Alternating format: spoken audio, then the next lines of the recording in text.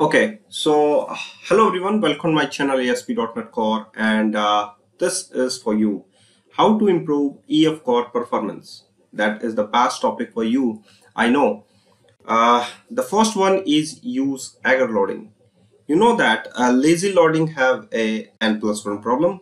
So whenever possible, prefer eager loading over lazy loading to avoid n plus 1 problem and reduce the number of round trip to the database. So use this types of include keyword and uh, this uh, courses. Now uh, in the context with the student uh, have a student courses. So use include instead of uh, virtual. So that is use eager loading. Now the uh, the second is use projections. Use projections to select only the columns you need from the database reducing the amount of transferred data. So only the selected column you want to get from the database, that is the projection. So here we have a query where projected students context.students dot select and the selected students is new student ID and the first name dot to list. Now the next one is use as not tracking that the third when you only need to read data and don't need to update it, use as not tracking to bypass the change tracker and reduce memory uses. So here we go for as not tracking if you want to get only read-only data. The next one is the batch queries and updates. Batch queries and updates, I mean to say that optimize large insert and update and delete operation by batching them, reducing the number of database round trips you can use libraries like efcore.bulk extensions for bulk operations.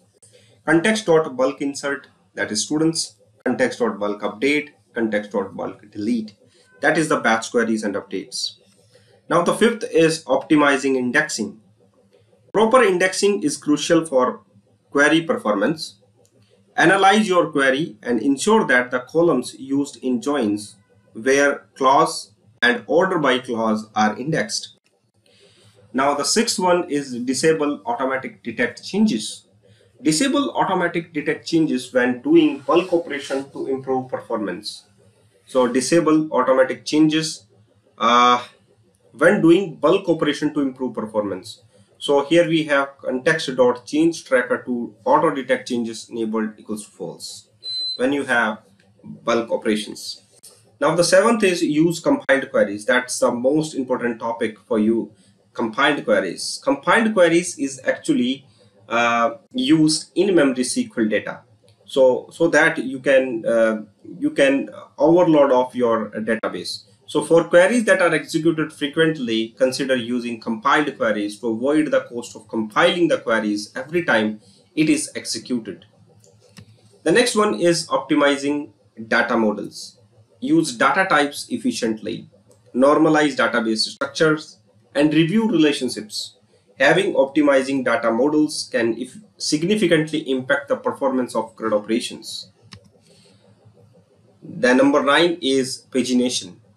Use skip and take for pagination to avoid loading larger set of data when only a subset is needed. So that type of thing you can do in your code. Number 10, connection resiliency. Enable connection resiliency to allow EF Core to retrieve failed database commands, which is particularly important in cloud environments where transient failure are common. So option builder dot enable try on failure that is to do uh, connection resiliency. Now number 11 use raw SQL for complex queries. For complex queries that are not easily translated by the EF core, consider using raw SQL or stored procedure to leverage the full power of SQL. So that type of things you can do in your code by using from SQL raw. By using the from SQL raw, you can just use SQL queries in your entity framework code. Number 12 is caching. Cache result for expensive or frequently accessed queries to avoid hitting the database unnecessarily. Number 13, avoid select n plus 1 problem. As mentioned previously, avoid the select n plus 1 problem by properly use eager, explicit or lazy loading based on use cases. Number 14 is review generated SQL. Regularly review the SQL generated by EF Core to identify any inefficiencies and optimize as necessary. Number 15, use latest EF Core versions. Regularly update to latest version of EF Core to benefit from the performance improvements and optimizations made by the EF Core team. So that's our, uh, you can say it's a uh, core building of your uh, performance to improve your query optimizations. Thank you very much for watching.